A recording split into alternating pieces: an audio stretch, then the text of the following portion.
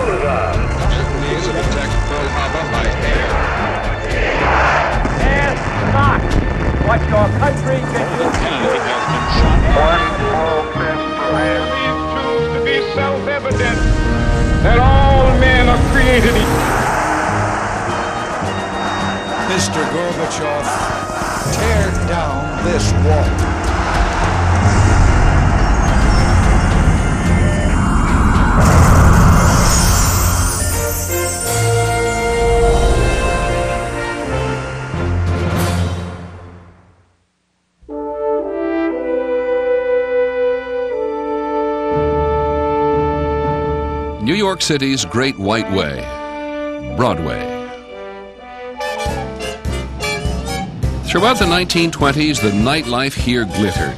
Bands played, liquor flowed, and everyone who was drinking it was breaking the law. In the first month of the new decade, the 18th Amendment became the law of the land. The sale and consumption of alcohol was now illegal.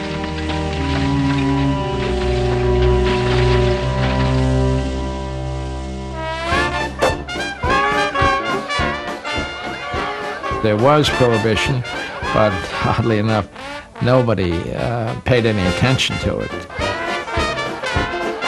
We went to people's homes, they served dreadful things called orange blossoms, which was gin and orange juice. Revolting. And bad gin at that. Liquor was now sold behind closed doors in places called speakeasies. Proprietors took the risks and reaped the profits. It was good money in them days.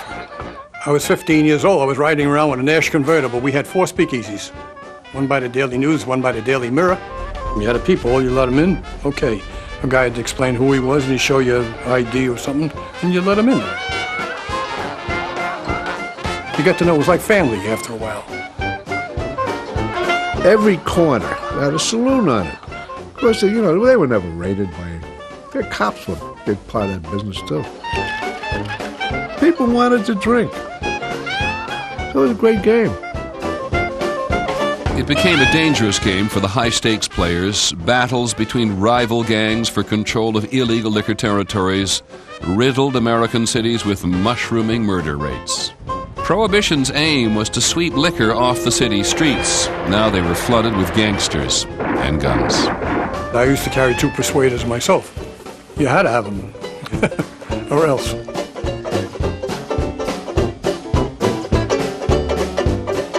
Prohibition and the general disregard which followed it was the perfect symbol for the 20s. A decade which was about crossing the line, smashing tradition, breaking boundaries. As modern America came of age in the 1920s, boundaries of all sorts, technological, geographical, and social, were shattered.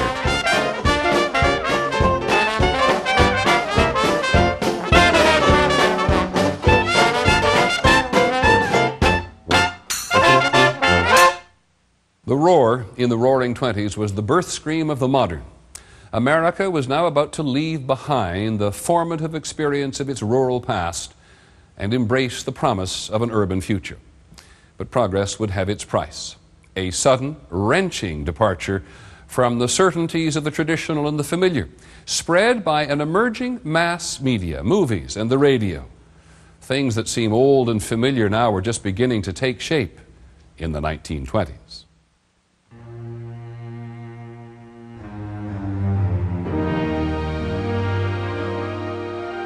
At the dawn of the 1920s, America was clearly entering a new era. An era defined by a vast and complicated urban culture that would dominate the rest of the 20th century.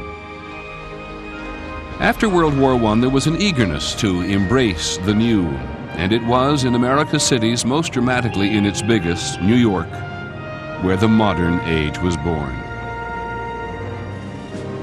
The very architecture of the city spoke of America's new ascendancy and her aspirations.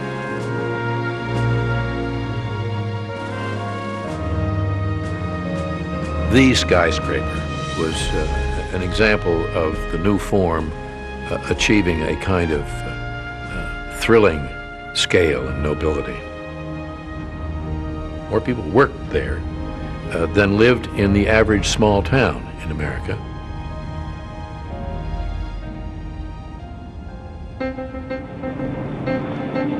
A movement to the cities that had started during World War I accelerated. In 1920, for the first time, more Americans lived in urban centers than in country towns and villages. The pace is being set in the cities. The city is irresistibly attractive, is really at a kind of high tide in this decade. It's a force, a magnet The very names of New York streets would become synonymous with progress and innovation. Broadway would represent the best and latest in American entertainment. Madison Avenue would come to stand for the bustling new business of advertising, which was uniting the nation in a set of shared fantasies and desires. And Wall Street came to represent the decade's expanding economic opportunities.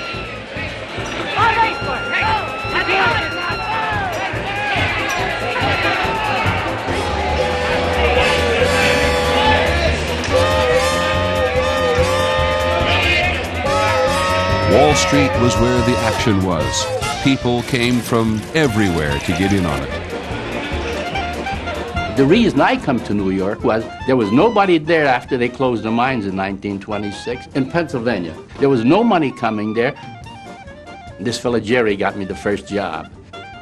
And he said, Come on down to Wall Street. The streets are paved with gold. It seemed that way too on Park and Fifth Avenues where the tycoons lived. The number of millionaires in the 1920s jumped 400% over the previous decade. The 20s' feeling of limitless horizons was fueled by their lavish lifestyle.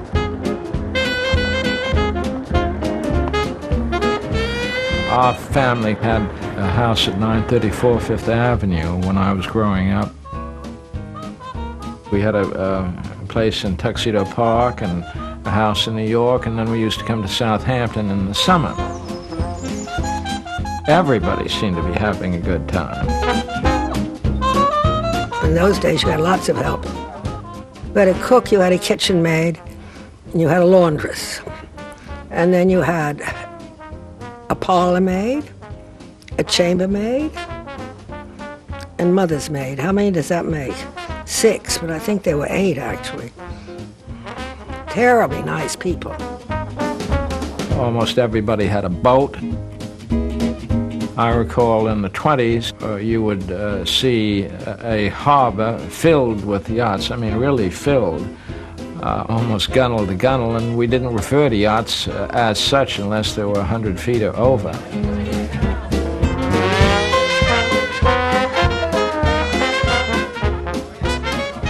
There was a great deal of entertaining, and it was all done in people's houses, seated dinner parties for 50, 60 people.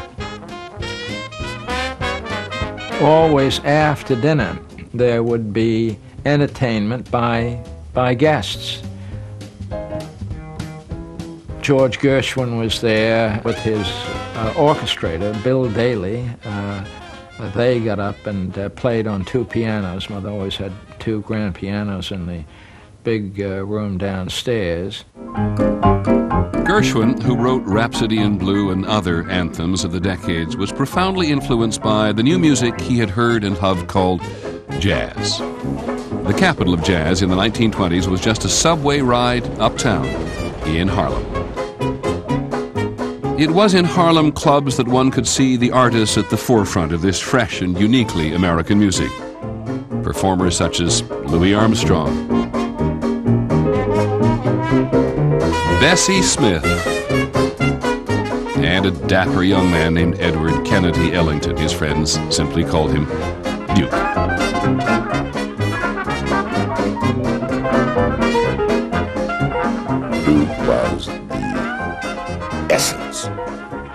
Black music was all about. Everybody else was heading in that direction, but Duke was there. The first time that I was seized by the music. Was the first time I heard Duke Ellington broadcast from the Cotton Club, where Broadway, Hollywood, and Paris rub elbows. People came from all over the United States to experience what was going on in Harlem in the 20s. I was young then, and often we went up to Harlem at night to dance and everything. We all saved up for months to get the money to go out to a, to a nightclub. Of course, the music was wonderful.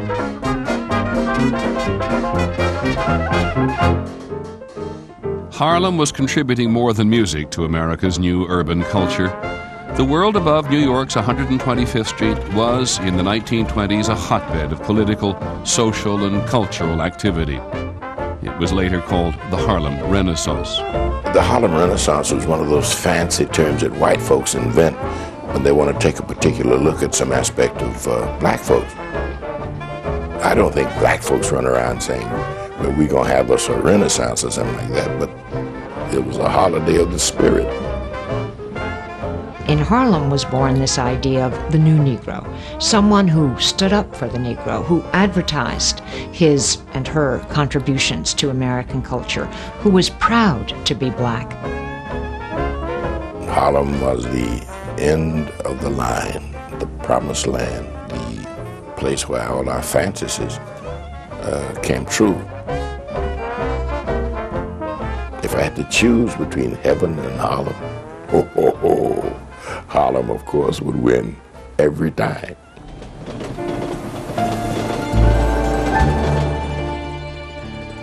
While Harlem seemed a promised land for black Americans, New York's Lower East Side was for European immigrants their gateway to the American dream.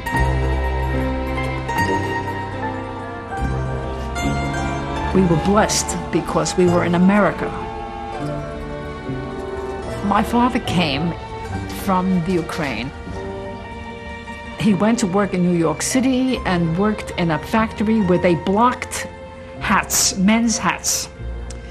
And he was making, you know, like nine or ten dollars a week, working a six day week.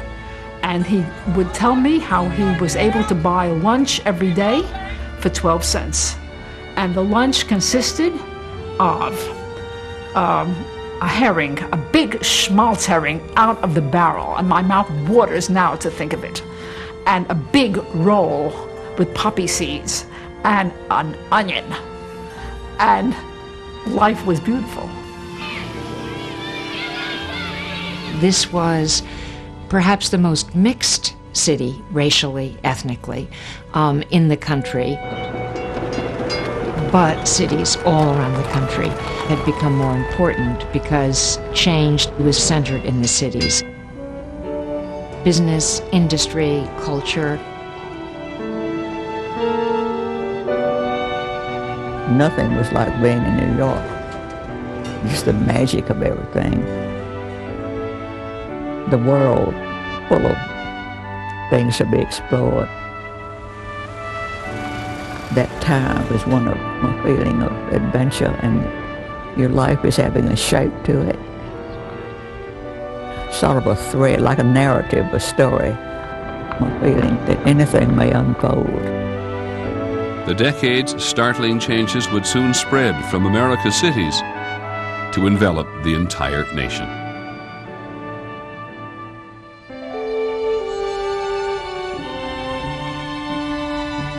Far from the speakeasies and the dance halls and the nightclubs, there was another America in the 1920s. Here, people still lived as their parents and grandparents had, and they liked it that way.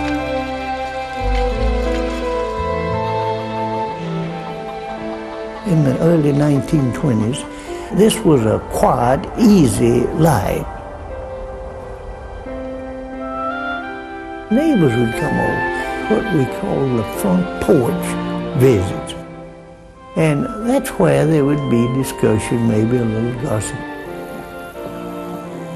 Throughout the 1920s, new technologies would transform daily life. At the beginning